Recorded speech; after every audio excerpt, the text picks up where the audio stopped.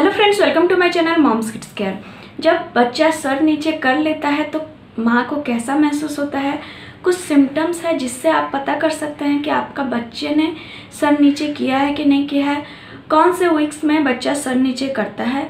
Bridge पे भी transverse पे भी क्या वो डिलीवरी से पहले सर नीचे करते हैं या नहीं करते हैं? तो वही सब मैं इस वीडियो में डिस्कस करने वाली हूँ।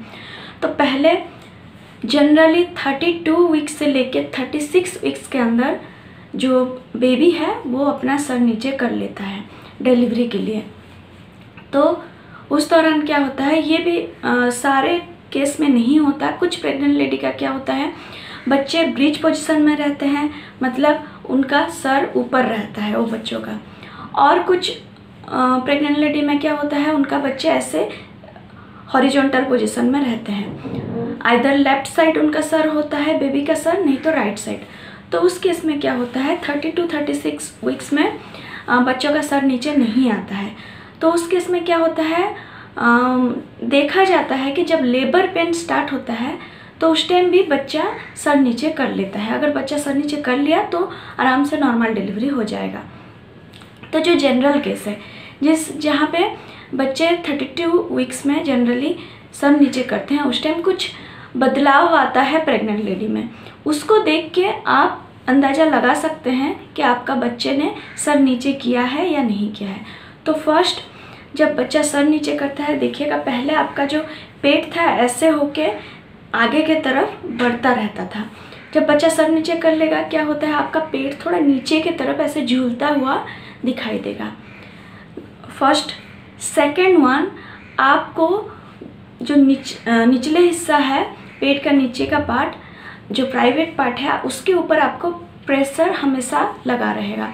आपको लगेगा कुछ बहुत भारी सा चीज़ आपके प्राइवेट पार्ट के ऊपर प्रेशर डाल रहा है। तो उसकी वजह से क्या होगा, जितना आप टॉयलेट जा रहे थे, उसका फ्रिक्वेंसी बढ़ जाएगा। आपको बार बार टॉयलेट जाना पड़ेगा। देन जो आपका अंडा का सफ़ेद पार्ट जैसा आपका बाहर निकलता रहता था, जो जिसको वाइट डिस्चार्ज बोलते हैं तो वो डिस्चार्ज क्या होगा? वो भी बढ़ जाएगा। और आप जब भी सो रहे हैं या आप टॉयलेट जाते हैं यूरिन पास करते टाइम वो लीक होना स्टार्ट होगा। जैसे जैसे आपका सर्विक्स थोड़ा थोड़ा थोड़ा थोड़ा ज़्यादा ज़्यादा उसका मुँह डायलेट होना स्टार्ट होगा तो आपका जो डिस्चार्ज है वो भी निकलना स्टार्ट होगा। लेकिन ये भी ध्यान रखें, अगर वाइट डिस्चार्ज के साथ आपका ग्रीन कलर या थोड़ा थोड़ा अगर एकदम थोड़ा सा ब्लड पिंकिश टाइप का कलर निकल गया तो ओके लेकिन अगर थोड़ा ज़्यादा अमाउंट में ब्लड टाइप का कुछ म्यूकोस टाइप का कुछ निकल रहा है तो ये रिस्क चीज़ है. इस, अगर ऐसा आप देख रहे हैं तो तुरंत डॉक्टर के साथ जाके आपको कंसल्ट करना है. देन बात करते हैं, सबसे इम्पोर्टेंट जिससे आपको पता चल जाएगा कि हाँ बच्चे ने सर नीचे कर लिया है. तो वैसे तो आप जब अल्ट्रासाउंड के लिए जा रहे हैं लास्ट ट्राइमेस्टर में तो डॉक्टर आपको अल्ट्रासाउंड जो कराते हैं या टच करके आपको बता सकते हैं कि बच्चे ने सर नीचे किया है या नहीं किया है। तो अल्ट्रासाउंड में क्या होता है? लिखा हुआ रहता है एंटेरियर पोजिशन पोस्टेरियर पोजिशन जो बच्चे सर नीचे कर लिया है। तो उसका भी टू पोजिशन रहता है, ये साइंटिफिक वर्ड है।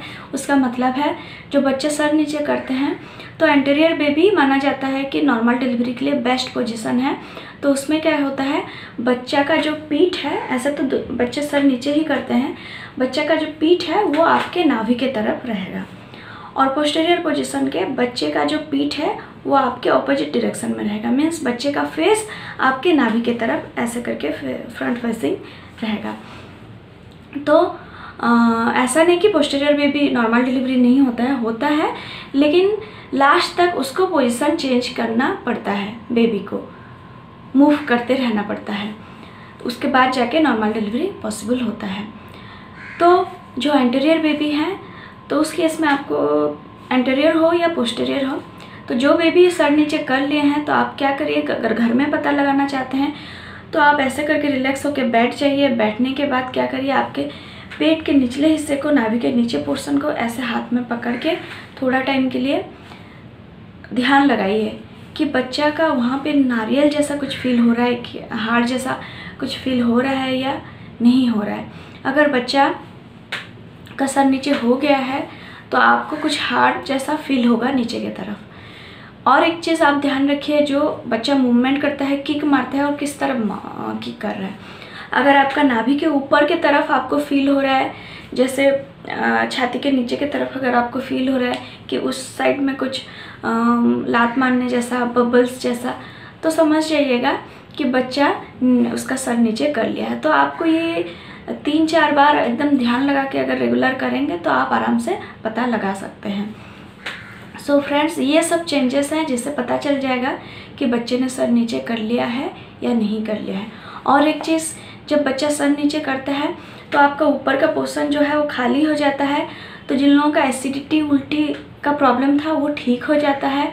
और लेकिन पीठ का दर्द थोड़ा बढ़ जाता है। और जब बच्चा सर नीचे कर लेगा, और आप अराउंड थर्टी नाइन वीक्स में हैं तो आपको ध्यान रखना है लेबर पेन के लिए।